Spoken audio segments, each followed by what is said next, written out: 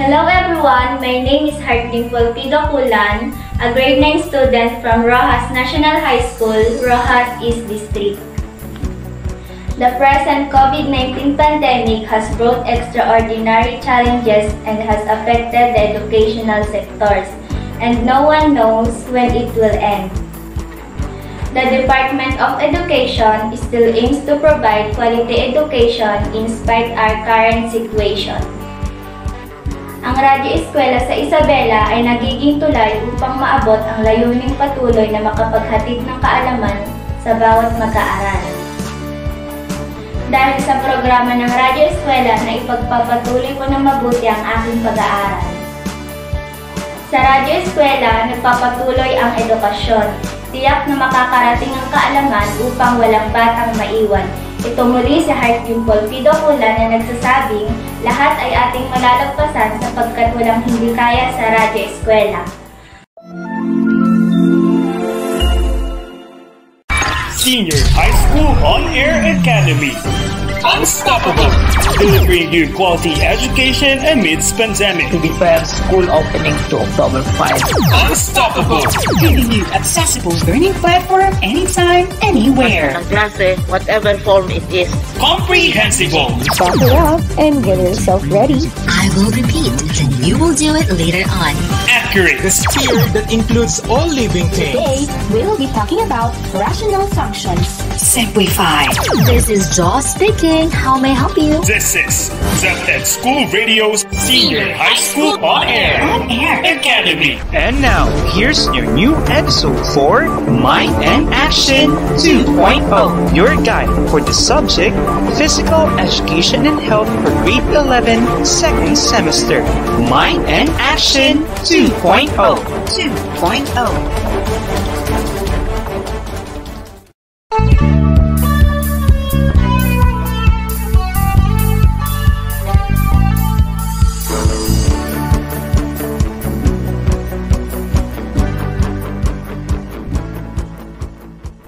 Hello and welcome to Radyo Eskwela sa Isabela, my dear senior high school learners. Are you ready? Oh yeah! You must because our lesson for today includes physical activities in following the instructions and directions. You have to energize yourselves first before we begin our exciting discussion about moderate the vigorous physical activity or MVPA in physical education. Be sure that you are in a comfortable place and please do follow the IATF protocols for your safety while learning at home. Are you excited, my dear learners? Oh yeah! Wow, energetic. My dear learners, be sure that you have your pen and paper for you to write your answers in your activities later on.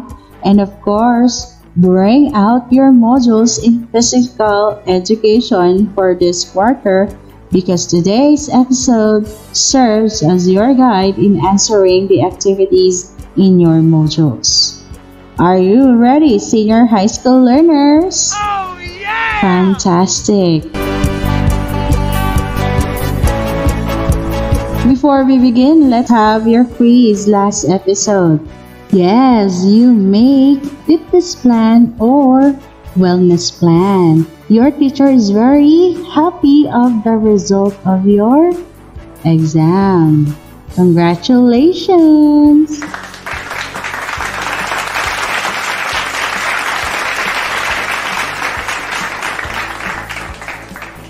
Alright, it seems that you are ready to listen to our next episode. Stay tuned and we will be right back after this short break.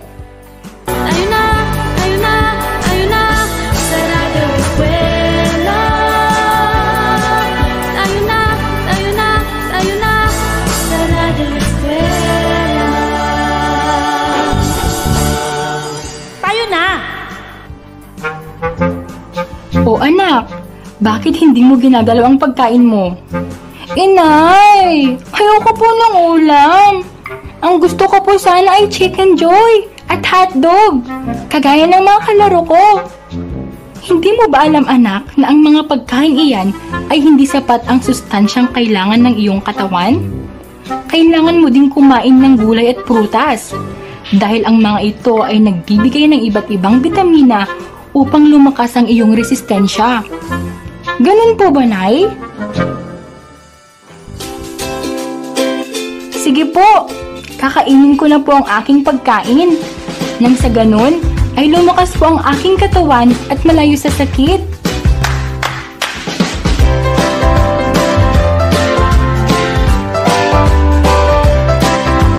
Isang paalala mula sa kagawaran ng edukasyon at ng himpilang ito.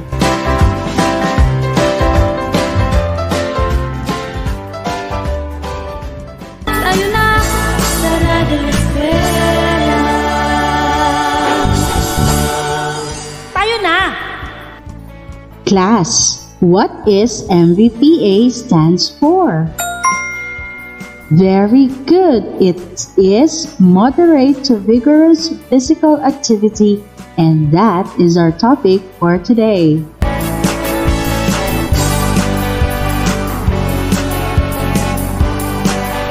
Moderate physical activity refers to activities equivalent in, in intensity to brisk walking or bicycling. Other examples of moderate physical activities are water aerobics, dancing, double tennis, hiking, and rollerblading. Vigorous physical activity produces large increases in breathing or heart rate, such as jogging, running, swimming laps, aerobic dance, playing tennis, playing basketball, and bicycling uphill. Again, class, what is our topic for today? Impressive! It's the moderate to vigorous physical activity or the MVPA.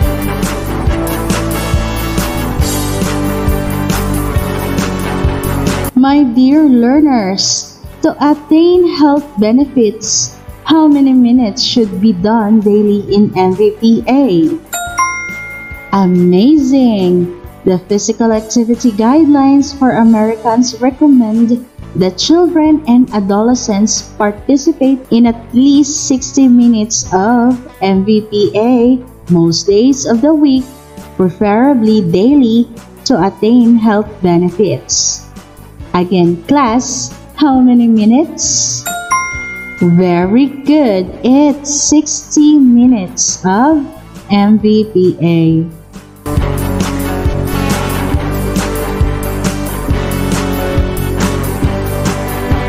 My dear senior high school learners, why do we need to do this MVPA? Wow, what a remarkable answer! Yes, because of the benefits that we can gain from it and for us to achieve holistic health, also especially in our physical health. Learners, can you give some of the benefits of MVPA? Amazing! One is it increases physical fitness outcomes such as cardiovascular fitness, muscular development, and obesity prevention. What else, class? Yes, that's true. It improves health with a lower risk of chronic cardiovascular pulmonary, and musculoskeletal diseases, cancers, and diabetes. It also enhances mental health by reducing anxiety and stress, while improving self-esteem and mood. It improves academic performance, cognitive function, school attendance, and positive classroom behavior. What more? Yes, that's true. It provides more opportunities to meet other physical education goals such as motor development, increased fitness, skill enhancement, and positive social interactions.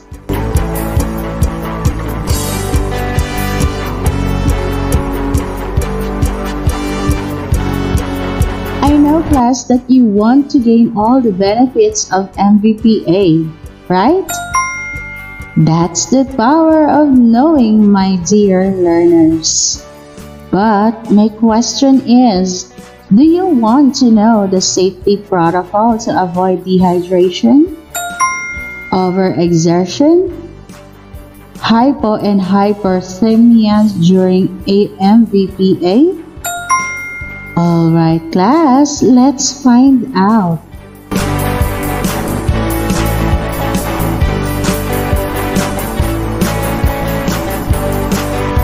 Exercises and physical activities are good for the health. But anything in excess or having poor execution is bad. That's a reminder class. Dehydration or loss of fluids occurs in exercise through sweat, breath, and urine. It will result in the loss of coordination and fatigue. Now class, how to avoid dehydration? Yes, you must drink fluids before, during, and after exercise. 1 to 2 more cups of fluid must be consumed around 30 minutes to 1 hour before exercise. Another is half to 1 cup of fluid must be consumed every 10 to 15 minutes of exercise and lastly, 3 to 4 cups of fluid must be consumed after 30 minutes of exercise, even if one is not thirsty. So, class, hydrate your body always, okay? Wow, energetic! Now, let us learn what is overexertion about. What is your idea about overexertion? Very good. Come in the form of any exercise greater than the capacity to handle. Training might be subsequent or too frequent. Intensity might be too hard. Time might be too long and type of exercise might be too much. To avoid overexertion, training must start from a low level of exertion before graduating to higher levels.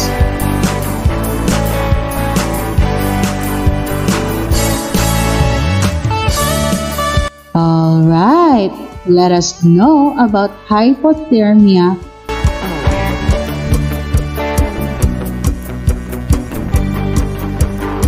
Are you excited, class? Oh yeah!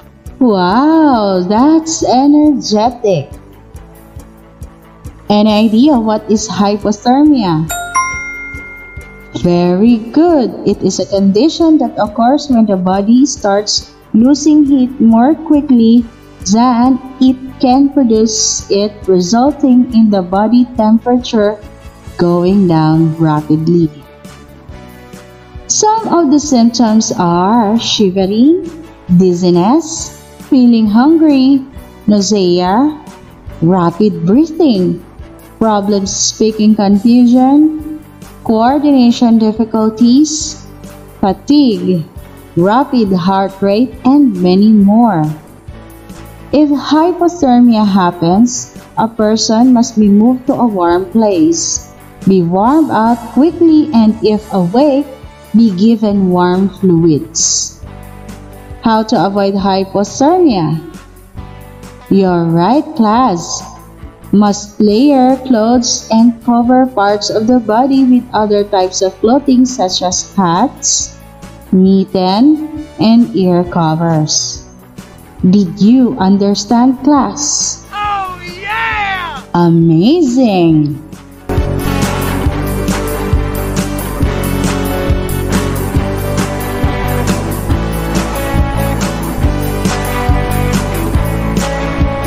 Class, we have also hyperthermia.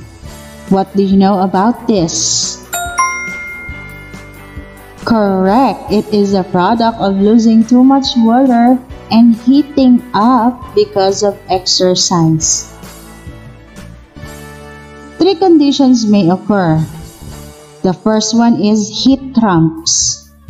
Second is heat exhaustion and heat stroke. Heat cramps is a type of heat illness and are muscle spasms that result from loss of a large amount of salt and water from exercise. Heat cramps are associated with cramping in the abdomen and arms. This can be caused by inadequate consumption of fluids or electrolytes.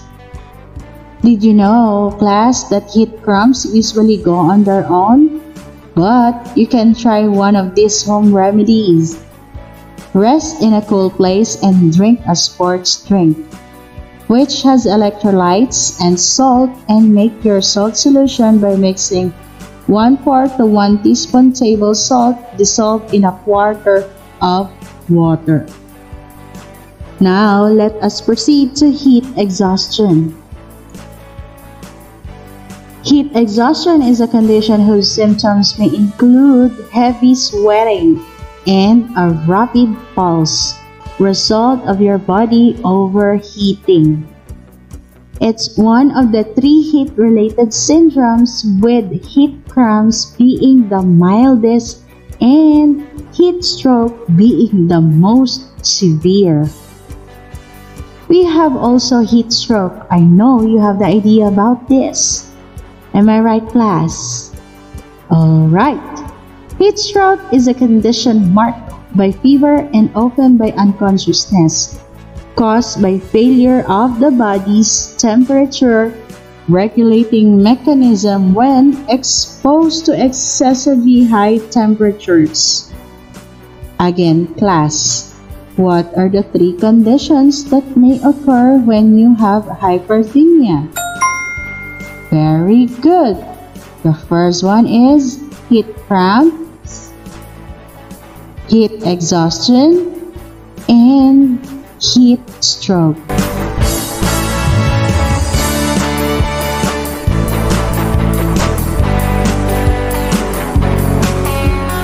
My dear senior high school learners, before we proceed to your quiz for today, may I ask you again what MVPA stands for? Very good. MVPA stands for Moderate to Vigorous Physical Action or Activity. Can you give me one safety protocol to avoid dehydration? That's right. Drink a lot of water. Like I have said before, feel dehydrated every day through drinking a lot of water. So may I request everyone to please drink water before we start our next activity.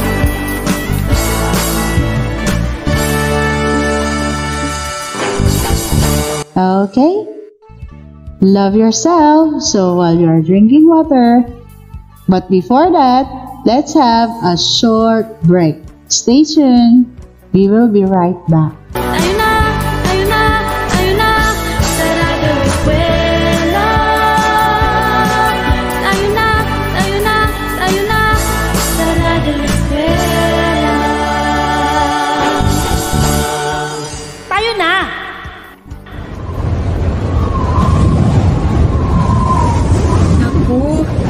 Lakas na ng hangin.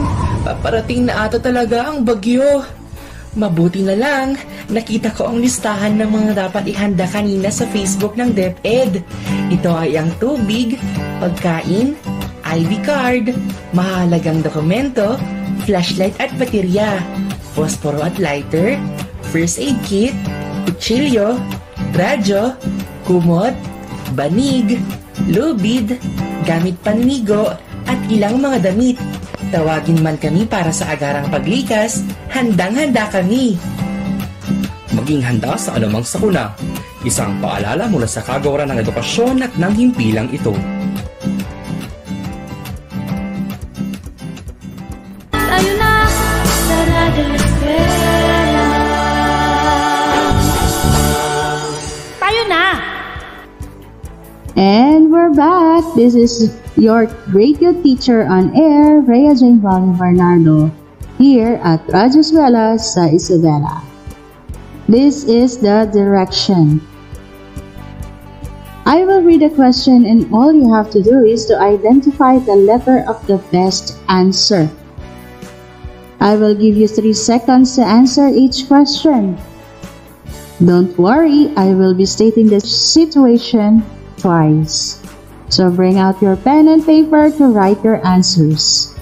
Are you now ready? Oh yeah! Let's begin. Number 1. MVPA stands for Moderate to Vigorous Blank Activity. What is P stands for? Letter A. Physical. Letter B. Emotional letter. C. Mental letter. Or D. Spiritual. I'll repeat. MVPA stands for Moderate to Vigorous Blank Activity. What is P stands for? Letter A. Physical. Letter B. Emotional letter. C. Mental letter. Or D. Spiritual. You may now write your answer. Number 2.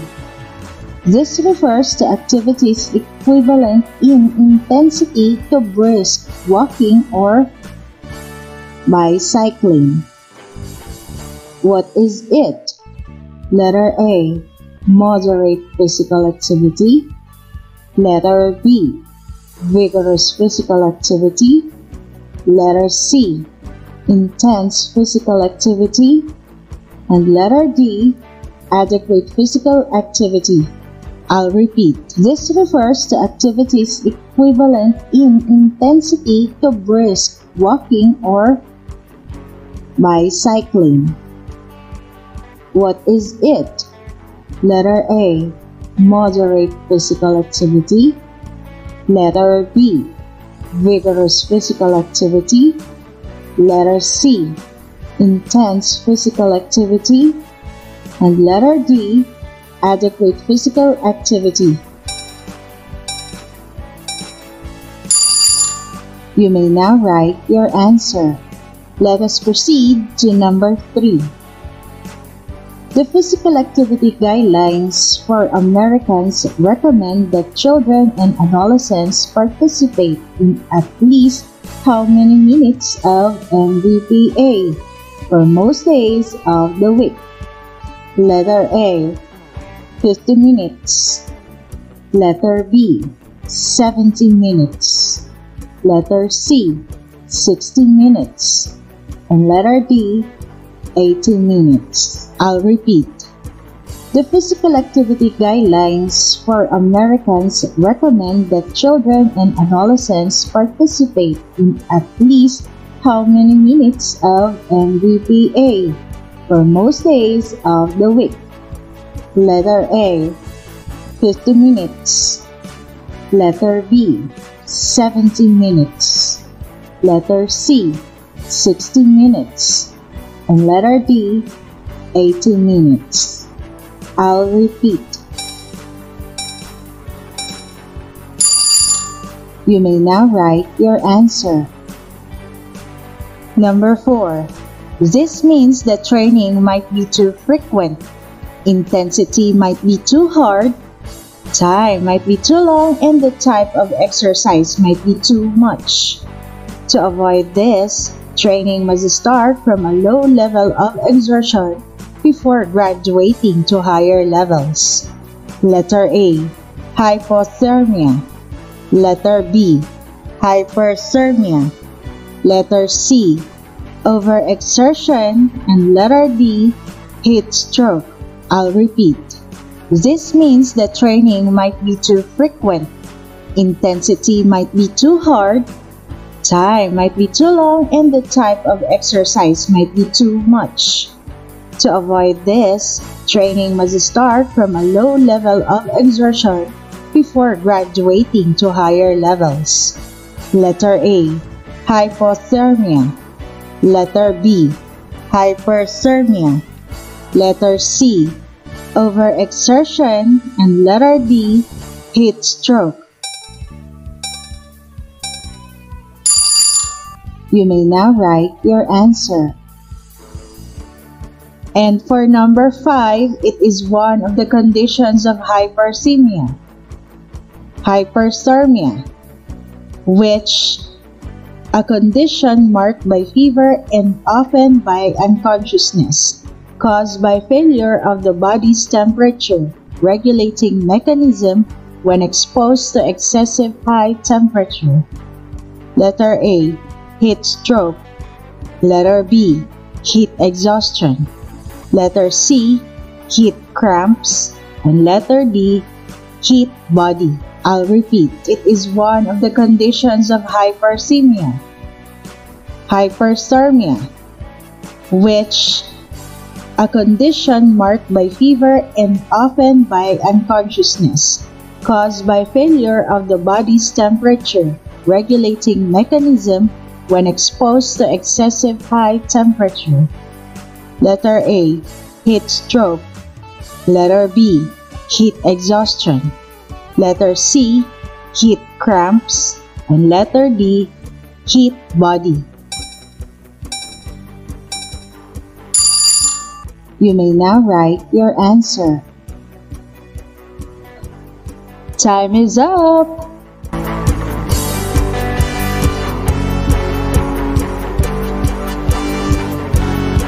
And there you have it, senior high school learners. Another momentous and enjoyable time with you. I hope you will apply your learnings from our topic for today in your life. Do not forget to drink a lot of water every day. If possible, 9 or more glasses of water daily. I know you can do it because you love yourselves right? Oh, yeah! Very good. Once again, congratulations to all of you. I hope you gained a lot of knowledge from our learning episode today. I'm sure that answering your modules will ease it because you listen well to our discussions.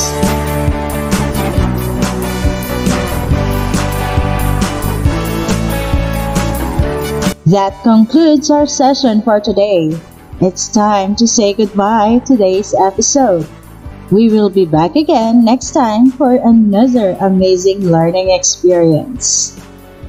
On behalf of our scriptwriter, Sir Brian S. Liamelo of Jones East District, and the SDO Isabela RBI production team, this is your teacher on air, Rhea Jane Valle Bernardo, saying that learning never stops, so keep going and keep learning.